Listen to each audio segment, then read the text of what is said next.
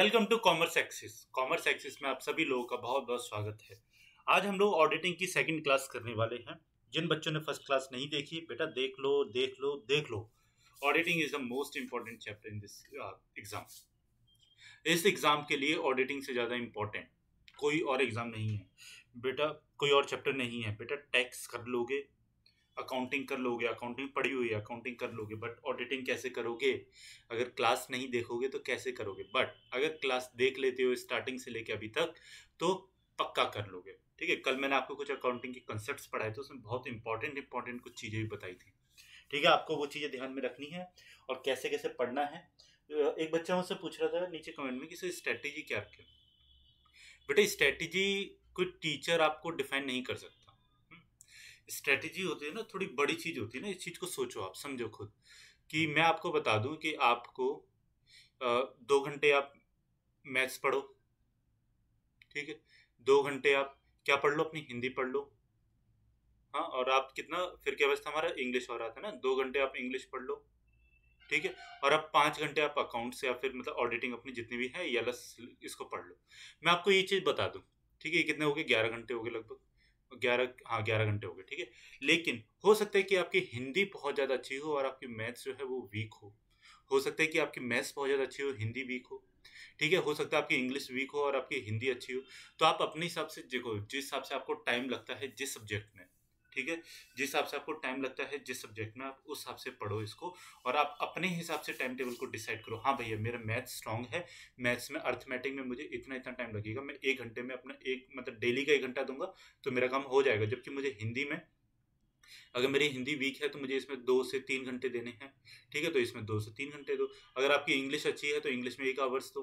ठीक है? आपको देखो कुल मिला के पढ़ना क्या है? वो चीज़ मैं आपको बता देता हूँ कि आपको पढ़ना कैसे है। ठीक है आप अपने वॉचिंग की मतलब मेरे को पढ़ना कितना है स्टडी आवर्स अपने आप से डिसाइड करो। बाकी मैं आपको एक चीज़ बता देता हूँ कि आपको पढ़ना क्या है। देखो अकाउंट सारा जो अपना सेक्शन जो है जो मैं अभी मैं आपको कंप्लीट करवा रहा हूँ ठीक है इसमें आपके तीन होते हैं। हम्म, जैसे मैंने आपको सिलेबस में बताया था। तो अकाउंट्स क्या होता है जनरली अपने लिए इजी होती है। अकाउंटेंसी के जो भी होते हैं ना जनरली इजी होते हैं। तो इसमें थोड़ा सा कम टाइम दो ठीक है ऑडिटिंग ऑडिटिंग भी कंपेरेटिवली इजी है किससे? इनकम टैक्स से। ऑडिटिंग हम्म? इजी है किससे कंपेरेटिवली इनकम टैक्स से तो अब हमको, अभी हम लोग ऑडिटिंग पढ़ रहे हैं क्योंकि तो इस पर थोड़ा कम ध्यान दो और जो हमारा पीछे जो हो चुका है मतलब जितना भी अपने लोगों ने पीछे कंप्लीट करवा चुका है, फिर भले वो अकाउंटेंसी हो ऑडिटिंग की कल वाली क्लास हो क्वेश्चंस प्रैक्टिस करते रहो questions practice is the must कि मतलब जितने, देखो मैं आपको इतनी सारी इसमें छः सात क्लासेस तो दे चुका हूँ मतलब सौ के लगभग क्वेश्चंस मैं आपको करवा चुका हूँ इसमें, है ना, अपनी लाइव क्लासेस के थ्रू तो आप लोग उसमें से देख सकते हो, ठीक है? फिर उसके बाद में कहीं पे भी नेट पे यार इतना कंटेंट पड़ा हुआ ना नेट पे इतना कंटेंट पड़ा हुआ, किसी भी, बस ये सर्च करो income tax M C Q question ठीक है? आपको मतलब ज़ीरो लेवल से उठा करके मतलब एकदम बेसिक से उठ के कि कौन से ईयर में आया था नाइनटीन का एक्ट है, ठीक है? फिर उसमें कि हमारा एचयूएफ क्या होता है इंडिविजुअल के लिए क्या क्या वो करने पड़ते हैं रेजिडेंट कम माना जाएगा, उसमें सब कुछ चीज़ें कवर हो जाती हैं, ठीक है? बट अभी क्या, अभी क्योंकि हमने इनकम टैक्स नहीं पढ़ा तो इसलिए बच्चों को नहीं भी आता होगा तो आपको करना क्या है, आपको सिर्फ़ अभी अकाउंट्स के क्वेश्चन उठाने हैं, ठीक है? टॉपिक वाइज उठाओ जनरल एंट्रीज के क्वेश्चन उठाओ, ठीक है? और फिर उसके बाद में बी के क्वेश्चन उठाओ, जो भी कुछ मैं आपको टॉपिक्स पढ़ा चुका हूँ रेक्टिफिकेशन ऑफ़ एरर्स हो गया, अगर एमसीक्यू नहीं भी मिलते एमसीक्यू नहीं भी मिलते, कोई भी आपके पास पुरानी किताब पढ़ी हुई है, उसमें से जाके जनरल एंट्रीज उठाना स्टार्ट कर दो रेक्टिफिकेशन ऑफ़ एरर्स स्टार्ट कर दो, लेकिन करो, ठीक है, लेकिन करो, ठीक है, यही इसका एक सोल्यूशन है और कोई इसकी स्ट्रैटेजी नहीं है। क्वेश्चन को क्लियर एग्ज़ाम को क्लियर करने की स्ट्रैटेजी कुछ नहीं होती। जो लोग भी वीडियो बनाते हैं ना कि इस तरीके से पढ़े, उस तरीके से पढ़े, बेटा हर किसी का पढ़ने का तरीका अलग अलग होता है। ठीक है, इसलिए मैंने ऐसी कोई वीडियो नहीं बनाई है जिसमें मैं आपको बताऊँ कि भैया इस तरीके से पढ़ो, उस तरीके से पढ़ो। जैसे भी आपको कंफर्टेबल लगे, जिस टाइम पे आपको पढ़ना है, उस टाइम पे पढ़ो, लेकिन क्या करो? पढ़ो, ठीक है? अपने हिसाब से खुद स्ट्रेटेजी क्रिएट करो। तो कल मैंने कुछ आपसे क्वेश्चंस पूछे थे, ठीक है? Special resolution special resolution special resolution Swati Khesrani special resolution दिया है। क्वेश्चन नंबर टू का नो दिया है। ठीक है, ये इंडिपेंडेंट वाला था। है ना इंडिपेंडेंट कौन सा सॉरी ऑडिटर हम किसको अपॉइंट कर सकते हैं? ठीक है टेन परसेंट शेयर वाला, वो था। ठीक है C A G controller and auditor general of India ठीक है। C A ji C A G ठीक है बेटा। हर्षिता गुप्ता, ठीक है बेटा। एक विनय कुमार ने भी आंसर लिखा था। ठीक है, बेटा, इतना बड़ा आंसर लिखा था कि मेरे उसमें आ ही नहीं रहा था तो मैंने आपका आंसर नहीं लगाया बट आपका आंसर करेक्ट था, ठीक है। तो गिरीश चंद्र मुर्मू, बेटा, गिरीश चंद्र मुर्मू हमारे करेंट सी ए जी हैं। है मतलब कंट्रोलर ऑडिटर जनरल के हेड है। तो देखो, कभी भी अगर आपसे पूछा जाएगा ना तो नाम नहीं आता, ठीक है? या तो ये आपके स्टैटिक क्वेश्चन में जाता है कि मतलब कि सीएजी का नाम बताओ। ओ सॉरी स्टैटिक में करंट अफेयर्स में। ठीक है, कि सीएजी का नाम बताओ तो इसमें करंट अफेयर्स नहीं आने वाला। अब देखो, होता क्या है कि हमारी दो चीज़ें होती ना। आपको कि एक तो हो गया आपकी पोस्ट ठीक है सी सी का हेड हो गया। और अब उस पर मुझे एक बात बताओ, जो नोट पे जो है, वो साइन कौन करता है? आरबीआई का गवर्नर कहता है ना? वो आरबीआई का गवर्नर मतलब एज अ पर्सन नहीं करता, वो क्योंकि वो गवर्नर अपॉइंटेड है, इसलिए करता है, ठीक है? इस चीज़ को समझना। तो गिरीश चंद्र मुर्मू, बेटा, मैंने नहीं पूछा था, मैंने सी जी पूछा हुआ था, ठीक है? इस चीज़ में कन्फ्यूज़ नहीं होना। थ्री का सी ए सी ए और टू का नोट बेटा सी ए नहीं होता। जब गवर्नमेंट ऑफ़ इंडिया जो होती है ना सी ए जी को controller and auditor general of India को कहती है कि, भैया, तुमको हमारी बुक्स के अकाउंट करने ऑडिटिंग करनी है। अब आपकी जो मर्ज़ी है वो करो। तो सीएजी क्या करती है? सीएजी अलग से फिर अपॉइंट करती है। वो हम लोग आगे पढ़ेंगे, ठीक है? वो कंपनी सेक्ट में दे रखा है ऑडिटिंग के बारे में तो वो चीज़ पढ़ेंगे। फिर क्या है? हुडा फारूकी ने सेकेंड नंबर सेकेंड नो अच्छा टू का आपने नो दे रखा है, ठीक है आंसर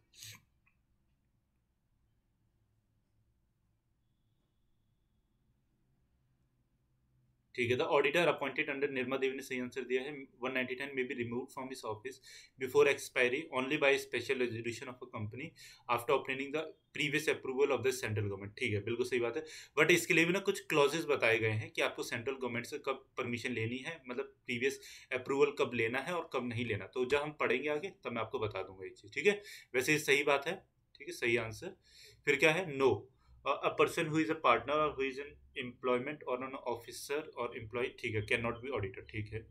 CAG क्या करता है? नियंत्रक एवं महालेखा परीक्षक, ठीक है, जो भारत सरकार तथा सभी राज्य सरकार स्वामित्व वाली कंपनी को अंकेक्षण करता है। ठीक है बेटा। ठीक है, सही answers controller auditor general responsible auditing in government companies ठीक है। गवर्नमेंट कंपनीज़ हमारे कौन सी होती हैं? पता है ना? फिफ्टी वन शेयर होल्डिंग किसकी होगी? गवर्नमेंट ऑफ़ इंडिया की होगी। ठीक है? स्टेट गवर्नमेंट्स की भी हो सकती है। An auditor can be remove by passing special resolution of a company ठीक है? No the person having ten percent shares company can not be independent ठीक है बेटा, ठीक है वेरी गुड बहुत ही ज़्यादा अच्छे अच्छे आंसर दिए ऑडिटिंग नहीं पढ़ी थी, उसके बाद में भी अच्छे अच्छे आंसर दिए वेरी गुड अब आते हैं, आज की क्लास में हम लोग पढ़ेंगे टाइप्स ऑफ़ ऑडिट क्वेश्चन पूछे गए हैं, तीन से चार क्वेश्चन मिले थे प्रीवियस ईयर के क्वेश्चन में ही कि टाइप्स ऑफ़ ऑडिट से ही ऑडिट से ही रिलेटेड ठीक है? तो तीन से चार तरीके के क्वेश्चंस मिले थे तो इसका मतलब ये है कि भैया, ये आपका डायरेक्टली कितना? सिलेक्शन की तरफ़ मतलब कट ऑफ़ से आप बाहर ना निकल जाओ, उसकी तरफ़ आपको डायरेक्टली खींचता है। ठीक है तो ये बहुत ज़्यादा इंपॉर्टेंट टॉपिक हो जाता है हमारा।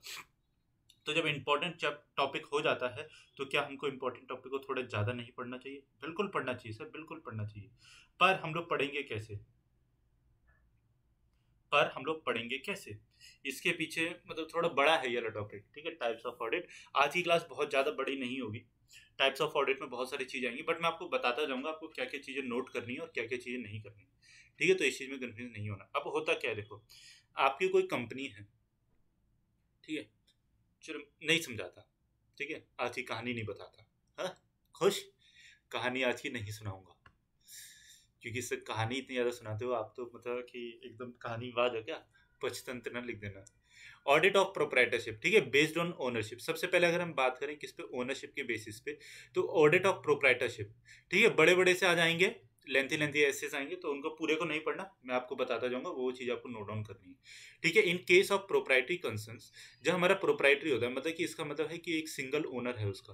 मतलब जिसको सोल प्रोप्राइटरशिप भी कहते हैं ना कई बार है ना? एक ही पर्सन मतलब जैसे आपके दुकान वाला हो गया, रेडी वाले हो गए, है ना? जैसे टिक्की की दुकान है। अभी अभी कानपुर की एक नई रिपोर्ट आई थी, याद होगी आप लोगों को, जिसमें बोला था कि कानपुर में जो टिक्की नहीं बेचते टिक्की को इंग्लिश में क्या बोलते टिक्की तो हिंदी होती ना अपनी। टिक्की इस तरीके से लिखते तो टिक्की बेचने वाले लगभग साढ़े तीन सौ लोग वहाँ पे, कितना उनकी इनकम करोड़ में है मतलब कि वो करोड़पति हैं, ठीक है? तो क्या मिलेगा यूपी पीसीएल में अकाउंटेंट बन के क्यों ना खेले, टिक्की का ठेला चलो बेटा, अपने अपनी सब बात होती है, जो उसका स्वाद है। तो मैं ये चीज़ बता रहा था हाँ आपको, कि सोल प्रोप्राइटरशिप जो होती है ना, वो हमेशा कोई छोटी, ऐसा ज़रूरी नहीं है कि छोटी ही फर्म हो, वो बड़ी बड़ी भी हो सकती हैं, ठीक है? तो उनको भी ऑडिटिंग की अगर ज़रूरत पड़ती है तो कैसे पड़ती है? उनके लिए कोई एक मैंडेट नहीं बना रखा, ठीक है? मैंडेट नहीं बना रखा कि आपको ये करना है, वो करना है, वो क्या करते हैं? In case of proprietary concern the owner himself takes the decision to get the accounts audited मतलब ओनर जो है, क्योंकि सिंगल ओनर है, उसको किसी के साथ में कंसल्ट नहीं करना, उसकी किसी के प्रति ऑब्लिगेशन नहीं है। तो जब वो चाहेगा कि हाँ भैया मुझे ऑडिटिंग करवा लेनी चाहिए तो वो करवाएगा। जब सोचता है ऑडिटिंग नहीं करवानी तो नहीं करवाएगा। Sole trader will decide about the scope of audit and appointment of auditor ये अपनी मर्ज़ी से ही अपॉइंटमेंट के मतलब ऑडिटर को अपनी मर्ज़ी से ही अपॉइंट करेगा और अपने आप ही उसको ठीक है, भैया, तू मेरा ऑडिटर बन जा। ठीक है? The auditing work will depend upon the agreement of audit and specific instructions given by the proprietor इस वाले केस में देखो प्रोपराइटरशिप में जो ऑडिटर जो है, वो कोई एक इंडिपेंडेंट पर्सन की तरह काम नहीं कर रहा। ऑडिटिंग जो होगी, वो किसके ऊपर डिपेंड करेगी? देखो, इसमें लिखा हुआ है auditing work will be depend on the agreement of audit ठीक है? ऑडिटर उसको बोलेगा कि भैया, तेरे को मेरे यहाँ पे ऑडिट करनी है तो मेरी बात माननी पड़ेगी, और मेरी बात मानने के लिए क्या है कि तुम मेरी उस वाली किताब को नहीं उठाओगे। ठीक है? मेरे इस वाले रिकॉर्ड को चेक नहीं करोगे तो ऑडिटर को यार, ठीक है भैया, नहीं करना, ठीक है, नहीं करूँगा, लेकिन मुझे पैसे दे देना। ठीक है? प्रोपराइटरशिप बोलेगा कि मेरे पास तो करोड़ों में संपत्ति है, जितनी लेनी है ले लो। ठीक है? तो इस तरीके से होता है प्रोपराइटरशिप का। तो आपको इसमें लिखनी क्या थी? ऑडिट ऑफ़ प्रोपराइटरशिप लिखो। फिर यहाँ पे लिखो सिर्फ़ ये लाइन ठीक है? द ओनर हिमसेल्फ यहाँ से लिखना द ओनर हिमसेल्फ एक मिनट, मिटा दो। इसलिए आज मुझे पता था ना, बहुत ज़्यादा बड़ा बड़ा सा हो जाएगा, इसलिए मैं पहले हाईलाइट करके लेके आया था चीज़। ठीक है? द ओनर हिमसेल्फ से लेके यहाँ तक का लिख लो। और हिंदी वाले बच्चे कहाँ से लिखेंगे? यहाँ से मालिक खुद के खातों के ऑडिट करने का निर्णय लेता है।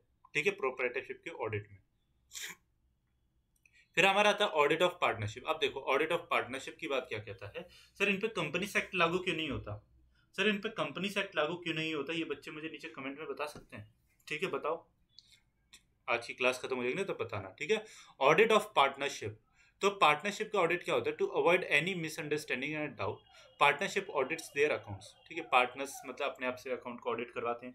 Partnerships deed on mutual agreement between the partners में provide for audit and financial statements ये चीज़ बोल रहा है, देखो, बहुत ज़्यादा इंपॉर्टेंट है।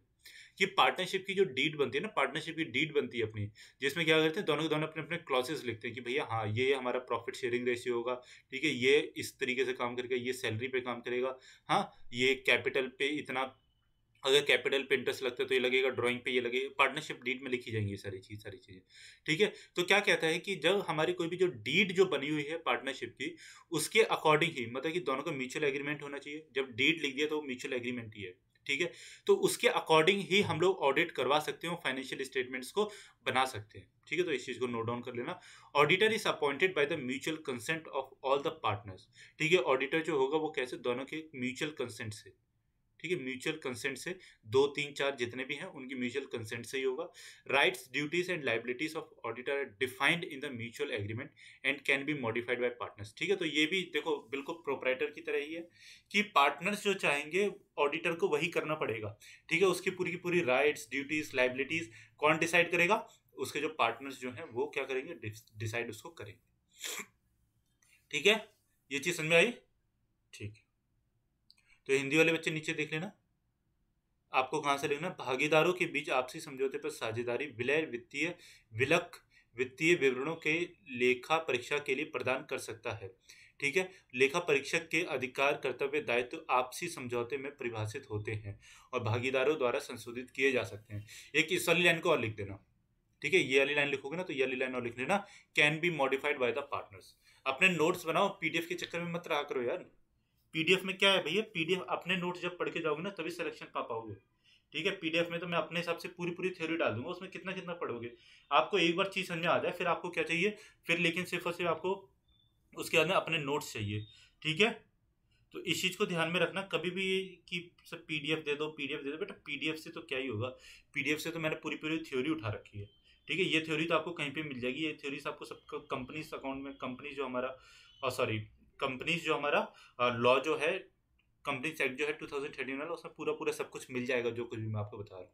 ठीक है? पीडीएफ के चक्कर मत रहो, यहाँ से समझो और उसके अपने नोट्स बनाओ अलग से। अब आता है ऑडिट ऑफ़ कंपनीज़ ठीक है? जो कि है इंपॉर्टेंट जो कि मेनली हमको पढ़ना भी। ठीक है? ऑडिट ऑफ़ कंपनीज़ प्रोपराइटरशिप नहीं पढ़नी पार्टनरशिप नहीं पढ़नी और कोऑपरेटिव हाउसेस नहीं पढ़ने कंपनीज़ हमको पढ़नी है। तो क्या कहता है? Under the companies act audit of accounts of companies in India is compulsory, ठीक है? क्या कहता है? Audit of accounts in, of companies in India is compulsory. Note down कर लो। Chartered accountant who is professionally qualified is required for the audit of accounts of a company. कोई एक सी ए ठीक है? जिसको हम लोग क्या कहते हैं? आप में से बहुत सारे लोग सी ए भी कर रहे हैं। नीचे कमेंट किए थे कि सर हम सी ए कर रहे हैं, हम ये कर रहे हैं। तो ठीक है, आप में से जितने बच्चे सी ए कर रहे हो जो आप लोग सी ए बन जाओगे तो आप लोग कंपनीज़ की ऑडिटिंग करोगे, ठीक है? कंपनीज़ एक्ट 1913 फॉर द मतलब पहली बार जैसे मैंने आपको कल भी पढ़ाई थी जब हिस्ट्री मैंने पढ़ाई थी आपको कंपनीज़ एक्ट के बारे में तो 1913 ने पहली बार क्या किया जॉइंट स्टॉक कंपनीज़ को अकाउंट्स को ऑडिट करने स्टार्ट किया, ठीक है? फ्रॉम अ क्वालिफाइड अकाउंटेंट याद रखना फ्रॉम अ क्वालिफाइड अकाउंटेंट पहले भी होती होंगी अकाउंटेंट वो ऑडिटिंग लेकिन पहले मतलब उसके कुछ क्राइटेरियाज नहीं बनाए गए थे। पहले जमाने में जैसे मुनी क्या कहते थे उन्हें? मुनीम कहते थे शायद। है ना? तो मुनीम जो कहते थे तो वो अकाउंटेंट हुआ करते थे, वही लोग ऑडिटिंग वगैरह सब कुछ कर देते थे। ठीक है, फिर उसके अंदर उन्नीस की ही नहीं चली 1956 में कुछ चेंजेस आए 2013 में कुछ चेंजेस आए तो अब जो हमको पढ़ना है, वो अपने 2013 के अकॉर्डिंग वाला पढ़ेंगे। ठीक है, उसको पढ़ेंगे अच्छे से। तो इस चीज़ को ध्यान में रखना तो ये चीज़ में, ये चीज़ बस नोट डाउन कर लो। ठीक है, यहाँ से लेके यहाँ तक। फिर बाकी हम लोग इसमें 2013 वाले में एक एक चीज़ जो पढ़ेंगे तो वो मैं आपको बताता जाऊँगा। ऑडिट ऑफ़ ट्रस्ट ठीक है ऑडिट ऑफ़ ट्रस्ट ट्रस्ट क्या होता है कि मतलब किसी ने पैसा लगाया और फिर उसके अंदर पैसा चल रहा है, उसमें कुछ मतलब प्रॉफिट के पर्पज से नहीं चला गया, वो एक सोशल वेलफेयर के पर्पज से चला गया था। The beneficiaries of the trust may not have access and knowledge of accounts of the trust ठीक है, क्या कहता है the beneficiaries of the trust trust के लाभार्थियों को ट्रस्ट के खातों तक पहुँच और ज्ञान नहीं हो सकता है। ठीक है the trustees are appointed to manage कौन? ट्रस्टीज को अपॉइंट किया जाता है किसके लिए? मैनेज करने के लिए and look after the property and business of the trust accounts ठीक है? Accounts of the trust are maintained as per the conditions and trust terms of the trust deed ठीक है ट्रस्ट की जो डीड जो बनेगी अकाउंट्स उसके according ही maintain होंगे। ठीक है? फिर the income of the trust is distributed to the beneficiaries ठीक है, जो इनकम अगर कोई भी होती है, जनरली तो ट्रस्ट को कैसे इनकम के लिए नहीं बनाया जाता, बट अगर कोई भी इनकम होती है तो वो किसमें डिस्ट्रीब्यूट होती है? बेनिफिशरीज में। There are more chances of frauds and misappropriation of income ज़्यादातर जो फ्रॉड होते हैं, वो ये ट्रस्ट में होंगे, है ना? कभी भी केस भी पड़ोगे तो ज़्यादातर फ्रॉड किसमें होगी? या तो ट्रस्ट में हो जाते हैं, या फिर किसमें हो जाते हैं? कॉपरेटिव हाउसेस में हो जाते हैं। ठीक है, फिर वो कॉपरेटिव बैंक हो सकता अभी तो कॉपरेटिव बैंक से कितना ज़्यादा चल रहा है यार। हाँ अभी एक वो था, पंजाब महाराष्ट्र कॉपरेटिव बैंक ठीक है पीएमसी जिसको मतलब केस भी हुआ था पीएमसी हड़ताल वगैरह की गई आरबीआई ने। ठीक है, चलो अभी तो ये क्लास करते हैं, फिर लास्ट में एक चीज़ बताऊँगा, पूछूँगा मतलब आप लोगों से। In the trust deed as well as in the public trust act, which provide for compulsory audit of the accounts of the trust by the qualified auditor ठीक है, अब क्या होता है, देखो ट्रस्ट में क्या होता है ना कि आप बेनिफिशरीज को हर एक चीज़ नहीं पता होती, ठीक है? तो इस वाले में ये कहता है कि trust deed as well is public trust act which provide तो ट्रस्ट पब्लिक ट्रस्ट एक्ट के अकॉर्डिंग क्या कहता है कि कंपलसरी ऑडिट करवाना है, किससे वो भी? एक क्वालिफाइड ऑडिटर से। The audited accounts for the trust ensure true and fair view of the accounts of the trust ठीक है? ये चीज़ समझ में आ गई? ठीक। ठीक है तो नोट डाउन कर लेना। हाँ बच्चों तो ये ऊपर वाले नोट डाउन कर लेना, और एक चीज़ ये भी नोट डाउन कर लेना। कौन सी वाली? पब्लिक ट्रस्ट एक्ट से लेकर के। ठीक है, द पब्लिक ट्रस्ट एक्ट से लेकर के क्वालिफाइड ऑडिटर से। तो हिंदी वाले बच्चे कहाँ से नोट कर लेंगे? एक तो कर लेंगे। ट्रस्ट के खातों का रखा ट्रस्ट डीड और शर्तों के अनुसार किया जाता है, ठीक है? ट्रस्ट डीड के साथ साथ पब्लिक ट्रस्ट एक्ट के द्वारा भी प्रावधान करता है, ठीक है? तो इस चीज़, इन चीज़ों को नोट डाउन कर लेना। यहाँ से उठाना। और ये चीज़ यहाँ तक, ठीक है? अब मैंने, चलो कर दिया वो। आप लोग वीडियो को पॉज करके इसको कर सकते हैं। ठीक है? नोट डाउन करना नोट डाउन ज़रूर करना नोट्स अपने ज़रूर बनाना। अब हमारा आता है cooperative societies cooperative societies are established under the cooperative societies act 1912 it contains various provisions for the regulations and the working of this societies ठीक है तो ऑडिट ऑफ़ अकाउंट जो होता है तो इसके लिए अपने तरीके से प्रावधान बनाए गए हैं किसमें कॉपरेटिव सोसाइटीज एक्ट 1912 में। अब आता है हमारा गवर्नमेंट ऑडिट इसका मैंने क्वेश्चन आपसे पूछा था और आप लोगों ने इसका आंसर भी सही दिया सभी बच्चों ने। तो बिल्कुल सही बात है। जो हमारा गवर्नमेंट जो ऑडिट जो होता है, ठीक है, इसको हेड ये किसके द्वारा किया जाता है? इसके लिए एक सेपरेट डिपार्टमेंट बनाया गया है किसके द्वारा? गवर्नमेंट ऑफ़ इंडिया के द्वारा, जो कि हमारी भारत सरकार है।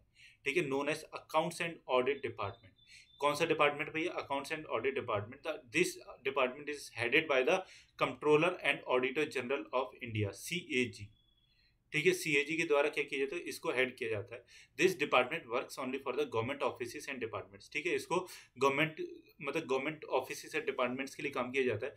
बट बट क्या कहते हैं? This departments can not undertake audit of non government concern it is its working strictly according to the government rules and regulation ठीक है? इसको किसी भी तरीके से ऑडिट नहीं किया जा सकता। कैसे? गवर्नमेंट मतलब जिसमें नॉन गवर्नमेंट कंसर्न है। बट एक चीज़ है, इसमें सुनो मेरी बात। कि कम, अगर गवर्नमेंट ऑफ़ इंडिया चाहे हाँ अगर गवर्नमेंट ऑफ़ इंडिया चाहे तो एक स्पेशल पावर दे सकती है किसको? सीएजी को। कि आप मतलब कि जैसे कि चलो एक आपको केस बताता हूँ मैं। एक यूनिटेक इंफ्रा है, ठीक है? यूनिटेक इंफ्रास्ट्रक्चर है। तो क्या हुआ कि इस कंपनी में मतलब घपलेबाजी हुई। यही गुड़गांव वगैरह में इसके बहुत सारे टावर हैं। तो पहले मैं जिस कंपनी में जॉब करता था तो उसमें भी इसका, वो मतलब इसी के टावर में थी, ठीक है? तो यूनिटेक टावर था वो, गुड़गांव में। तो क्या यूनिटेक इंफ्रास्ट्रक्चर था? हाँ तो इसको क्या किया ना, इसमें बहुत ज़्यादा घपलेबाजी हुई, ठीक है? घपलेबाजी हुई, चली, फिर केस हुआ, ठीक है? यहाँ पे समझाता हूँ। तो यूनिटेक ने क्या किया? यूनिटेक इंफ्रास्ट्रक्चर है तो इसके ऊपर मतलब सुप्रीम कोर्ट में सुप्रीम कोर्ट में इसका केस चला, ठीक है? सुप्रीम कोर्ट ने इसके जितने भी ओनर्स थे बोर्ड ऑफ़ डायरेक्टर्स थे मतलब सबको उठा के किसमें डाल दिया? जेल में डाल दिया। उसने कहा, सुप्रीम कोर्ट ने कहा, तुम इतना बड़े घपलेबाज हो भैया, तुम जाओ, जेल में जाओ। ठीक है? क्योंकि कंपनी की अपने से एक सेपरेट लीगल एंटिटी होती है बोर्ड ऑफ़ डायरेक्टर वगैरह से, ठीक है? ये तो इसका दिमाग है ना? दिमाग को निकाल के फेंक दिया। अब यूनिटेक इंफ्रास्ट्रक्चर का क्या होगा?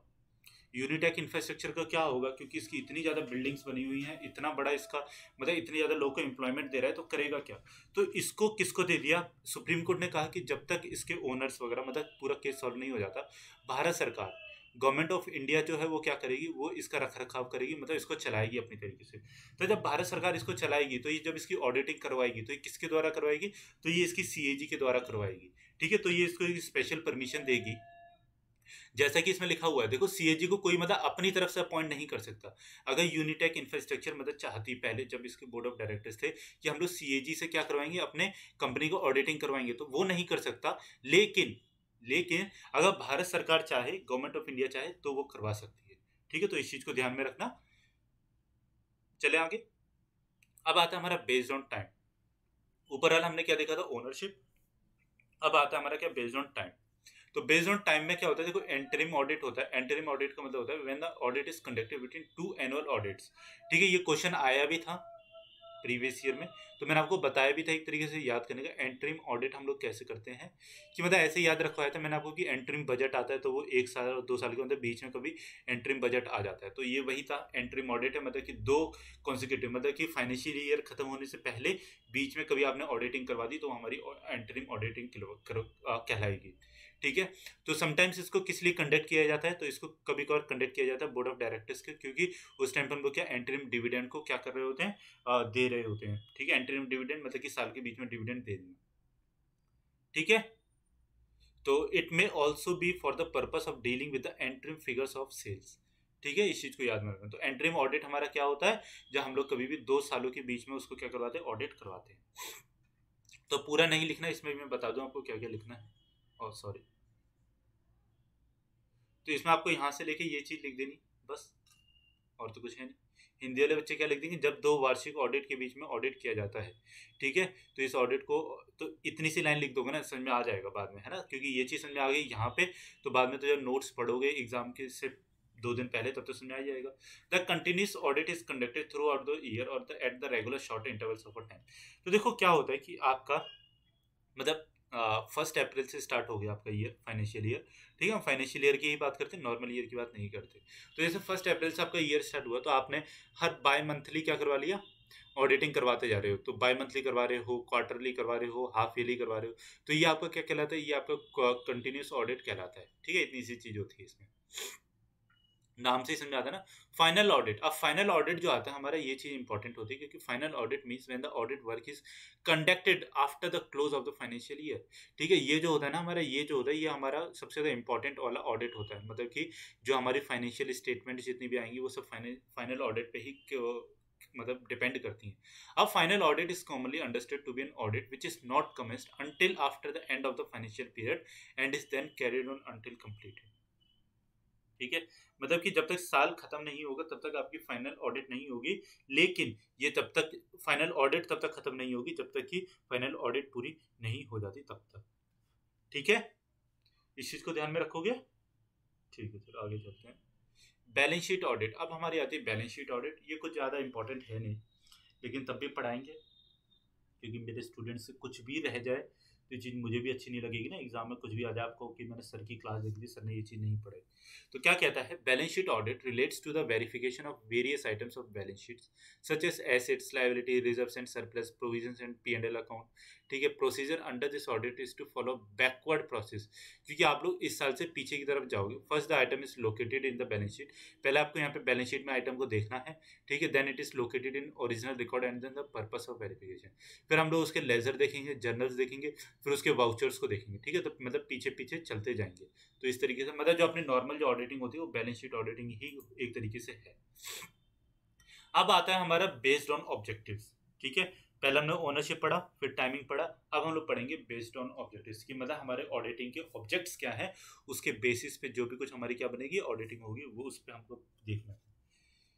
इंटरनल ऑडिट होती है। इंटरनल ऑडिट क्या कहती है? पूरा का पूरा नहीं पढ़ना आपको आपको क्या चीज़ ध्यान में रखनी it is a type of control which functions of measuring and evaluating the effectiveness of other types of control ठीक है? It deals primarily with the accounting and financial matters but it may also properly deal with the matters of operating nature ठीक है? It implies the audit of accounts by the staff of the business ठीक है? मतलब कि आपकी internal auditing का तो मतलब जानती हो ना भाई? आपके ने, आपने जिस ऑडिटर को या फिर जिस अकाउंटेंट को हायर किया हुआ है, वो क्या कर रहा है? आपकी ऑडिटिंग को कर रहा है। तो ये हमारी इंटरनल ऑडिट हो जाती है। एक्सटर्नल ऑडिट क्या होती है? जो हम बाहर से साल के एंड पे क्या करते हैं? अपॉइंट करते हैं किसी ऑडिटर को। या फिर किसी कंपनी को जो क्या है ऑडिटिंग के लिए बनी हुई है। ठीक है, फिर आती है हमारी कॉस्ट ऑडिट तो कॉस्ट ऑडिट का मतलब क्या होता है कि verification of the correctness of the cost accounts ठीक है कॉस्ट ऑडिट हमारी इसलिए होती है कि जब हम लोग अपने कॉस्ट अकाउंट्स को क्या करते हैं वेरीफाई करने के लिए क्या बनाते हैं, अपनी ऑडिट करते हैं। ठीक है तो ये चीज़ आपने पढ़ी होगी यार कॉस्ट ऑडिटिंग कॉस्टिंग जब पढ़ते हैं तो उस समय पढ़ाती हैं ठीक है cost audit is is the detailed checking of the costing system. ठीक है, techniques accounts to verifying corrected as to ensure adherence and the objectives of the cost accounting. ठीक है तो देखो कॉस्ट ऑडिट का मतलब क्या होता है कि आपके जितनी भी कॉस्ट वगैरह खर्च हो रही है कि हाँ वो सही वे में जा भी रही है, नहीं जा रही है। ठीक है, इन सब चीज़ों को किसमें? कॉस्ट ऑडिट में देखते हैं।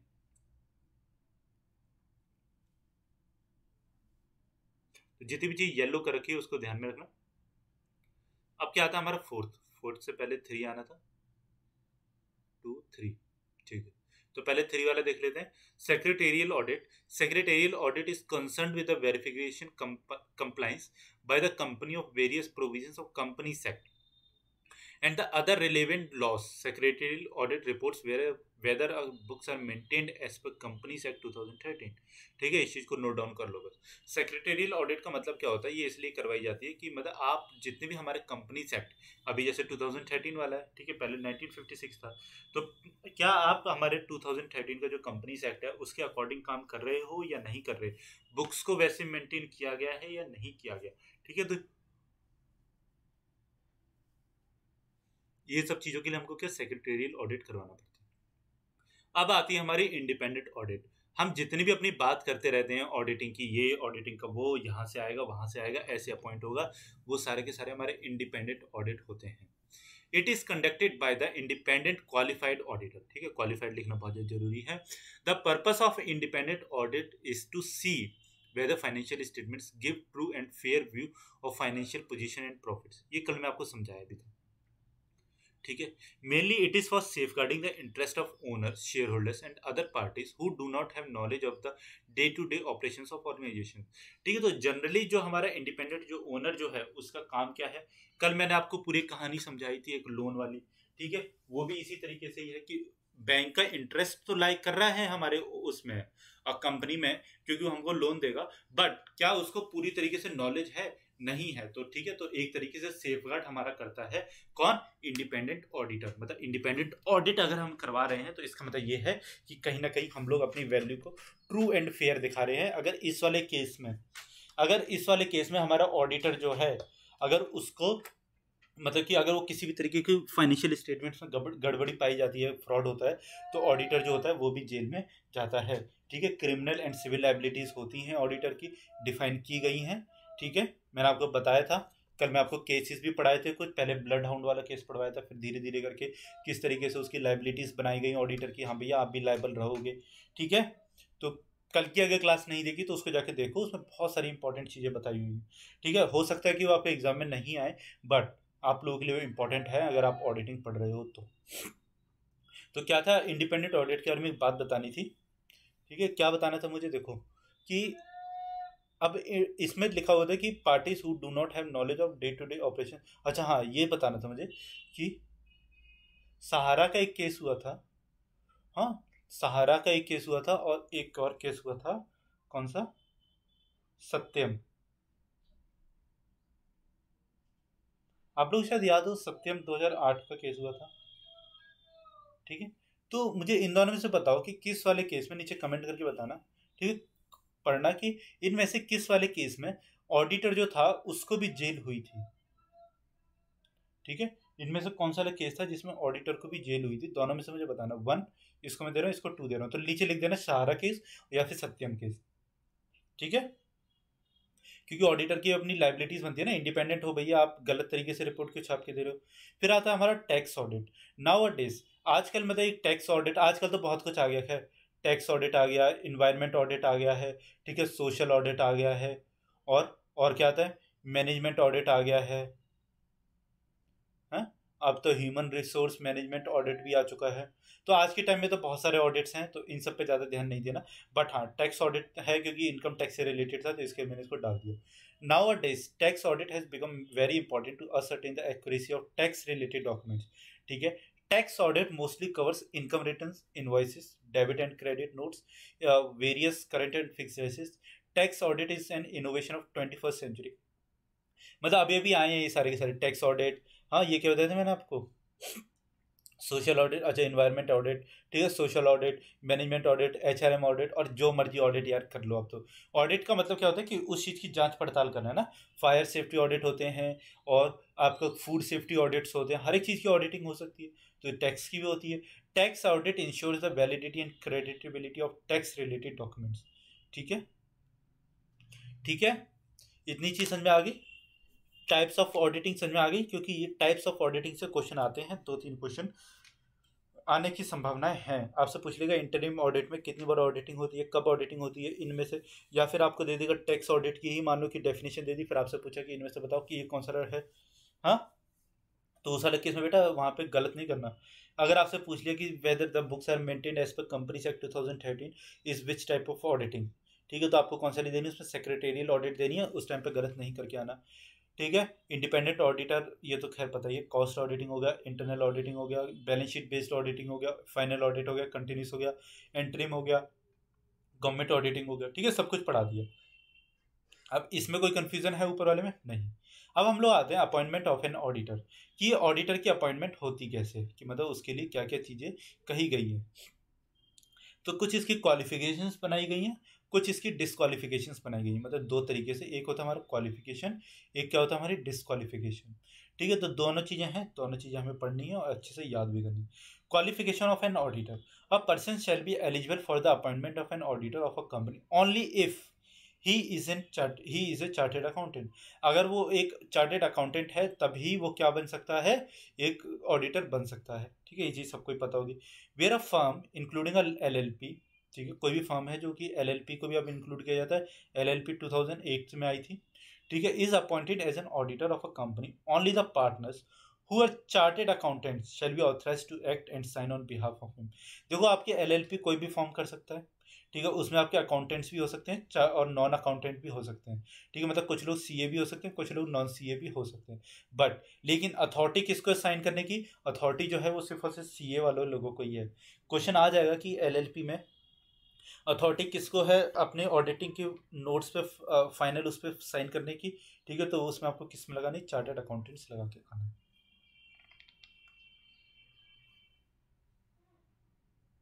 दो ही तरीके के क्वालिफिकेशन दिए गए थे।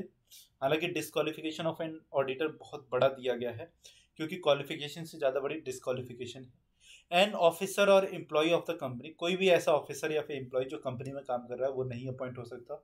अब person who is partner partner नहीं हो सकता एम्प्लॉयमेंट या फिर उसका एम्प्लॉय का रिलेशनशिप है किसी भी तरीके से कंपनी के साथ में, वो भी अपॉइंट नहीं हो सकता। अब person or a firm who whether directly or indirectly has business relationship with a company ठीक है? कोई भी ऐसी फर्म कोई भी ऐसा पर्सन कोई भी ऐसी कंपनी जो कंपनी के साथ में क्या करती है? डायरेक्टली या फिर इनडायरेक्टली बिज़नेस करती है, ठीक है? वो भी अपॉइंट नहीं हो सकती। Or subsidiary of which such holding company or associate company or such nature is may be prescribed ठीक है? A person whose relative is a director ठीक है? आपका मतलब बीओडी में ही है और कोई मतलब ऐसी पोजीशन में है जिसमें आप क्या कर सकते हो? इन्फ्लुएंस कर सकते हो, ठीक है? अपने किसको? उस पर्सन को तो आप उस पर्सन को अपॉइंट नहीं कर सकते ऐसा डायरेक्टर ठीक है? वो भी डिस्कालीफाई हो जाएगा। फिर हमसे कहता है person who is on full time employment elsewhere or person or partner of a firm holding appointment as its auditor, if such person or partner is at the date of such appointment reappointment, holding appointment as a auditor of more than twenty companies ठीक है, आप मोर than twenty companies का क्या करते हो? Auditing का काम ले रखे हो। उस वाले केस में भी वो पर्सन क्या होगा? ऑडिटर नहीं अपॉइंट हो सकता। A person who is convicted by a court on an of an offense involving fraud and a period of 10 year has not been elapsed from that of मतलब क्या किया? आप प्रीवियस वाली कंपनी में काम करते थे और आपको जेल हो गई। ठीक है? जेल हो गई और जेल आपको कब हुई? 2001 में हुई।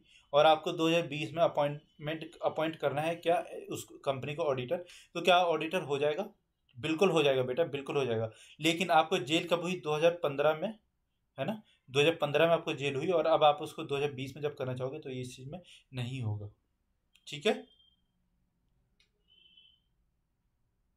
अब आता है हमारा remuneration of an auditor auditor का जो रेमुनरेशन है मतलब उसको जो पैसे जो मिलने हैं, वो कैसे मिलेंगे? देखो ऑडिटर जो होता है ना आपने सुप्रीम कोर्ट का जज पढ़ा है? कभी पॉलिटी वगैरह पढ़ी हो? यूपीएससी का एग्ज़ाम देने वाले हैं कुछ बच्चे? ठीक है, उन्होंने कभी पढ़ा हो क्या? और सुप्रीम कोर्ट का जज, ठीक है, या फिर हमारे सीएजी? कभी भी अगर ये अपॉइंट हो गए ना जो हमारे कॉन्स्टिट्यूशनल बॉडीज़ के जो हेड जो होते हैं, कभी वो अपॉइंट हो जाते हैं ना तो मतलब फिर गवर्नमेंट उसमें कुछ भी चेंजेस नहीं कर सकती। ठीक है, ना उनके पैसे कम कर सकती है, ना उनका ड्यूरेशन घटा सकती है। ठीक है, ना उनको मतलब बर्खास्त कर सकती है सिंपल उसके लिए स्पेशल मेजोरिटी लेके आनी पड़ती है पार्लियामेंट में बहुत कुछ दिखाना पड़ता है। इसलिए आपको पता भी होगा कि आज तक इंडिया में कोई भी, आज तक इंडिया में एक भी सुप्रीम कोर्ट को उसकी पोजीशन से नहीं हटाया जा सका है। क्यों? क्योंकि भैया उसके पीछे मतलब इतने बड़े बड़े रूल्स बना रखे हैं कि मतलब गवर्नमेंट मर जाएगी गवर्नमेंट पार्लियामेंट में मेजोरिटी नहीं शो कर पाएगी कि हाँ भैया, ये चीज़ ऐसी है। द रैंक आप पढ़ते अपने ऑडिटिंग पे आते हैं तो सेक्शन 142 है, लिख लेना, ठीक है? क्वेश्चन मैंने पूछा भी आपसे। The remuneration of the auditor of the company shall be fixed in its general meeting ठीक है जनरल मीटिंग में फिक्स किया जाएगा और in such a manner as may be determined therein ठीक है तो रेमुनरेशन जितना भी होगा ऑडिटर का, वो सारा का सारा जनरल मीटिंग में डिफाइन किया जाएगा और उसके बाद में अगर कभी ऐसा होता है, ज़रूरत पड़ती है तो वो चीज़ मतलब कंपनी को मीटिंग वगैरह बुलानी पड़ेगी। कोई अब बोर्ड ऑफ़ डायरेक्टर्स अपनी मर्ज़ी से ही उसको चेंजेस uh, नहीं कर सकते ठीक है? The remuneration under subsection one shall in addition to the fee payable to an auditor मतलब उसकी जितनी भी फ़ी वगैरह होगी कि हम सर आपको एक लाख रुपए देंगे आपको हमारा ऑडिटिंग कर दो ठीक है? तो वो सब कुछ पहले ही फिक्स होगा किसमें जनरल मीटिंग में। और उसके बाद में अगर वो कोई भी एक्सपेंस वगैरह करता है इंक्लूड द एक्सपेंसिस ठीक है? If any incurred by the auditor in connection with the audit of the facility extended to him but does not include any remuneration paid to him by an other services rendered by him तो इस वाले case में देखो क्या होता है कि company का ऑडिटर जो है, ठीक है, ऑडिटर जो है वो आपके यहाँ पे एक लाख रुपए में मान गया। बट अब उसको कि इधर भागना पड़ रहा है, कभी आपकी इस वाली बुक को निकालने के लिए जाना पड़ रहा है, इस वाली ब्रांच में, उस वाली ब्रांच में तो ये सब जब खर्चे जब होंगे तो ये सब के सब अलग से उसमें लगाए जाएँगे, ठीक है? ठीक है तो ये चीज़ें थी हमारी किसकी ऑडिटिंग की थी छोटी छोटी सी, appointment of an auditor, disqualification of an auditor, and remuneration of an auditor.